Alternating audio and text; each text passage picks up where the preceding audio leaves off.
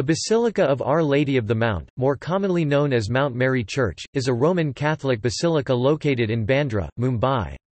The Feast of the Blessed Virgin Mary is celebrated here on the first Sunday after the 8th of September, the birthday of the Virgin Mary. The feast is followed by a week-long celebration known locally as the Bandra Fair and is visited by thousands of people.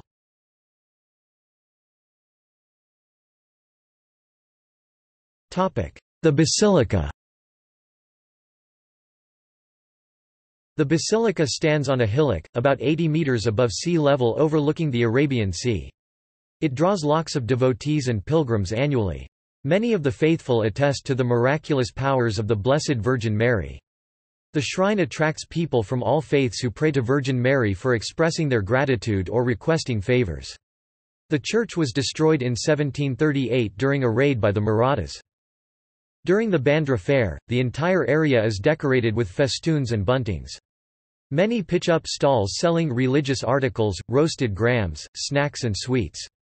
Wax figures of the Virgin Mary, along with an assortment of candles shaped like hands, feet and various other parts of the body are sold at kiosks. The sick and the suffering choose a candle or wax figure that corresponds to their ailment and light it in church, with the pious hope that Mother Mary will consider their appeals for help.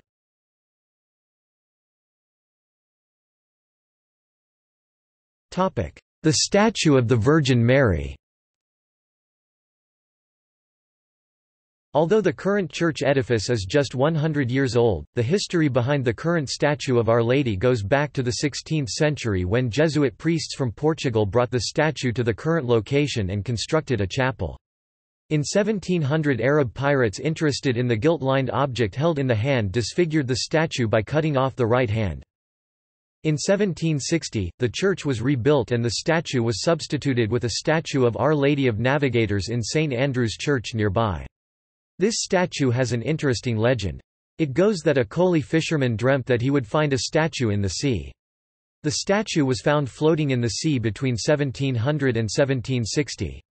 A Jesuit annual letter dated to 1669 and published in the book St. Andrew's Church, Bandra 1616 supports this claim. The Koli fishermen call the statue as Mo Mali, literally meaning the Pearl Mother Mo being corruption of the word mount, and Mali, meaning mother. However the previous statue is now restored and now enjoys the place of honor in the basilica. Both Hindu and Christian Kolis visit this shrine often giving it a kind of syncretic nature. Click here to see the photosphere of interior.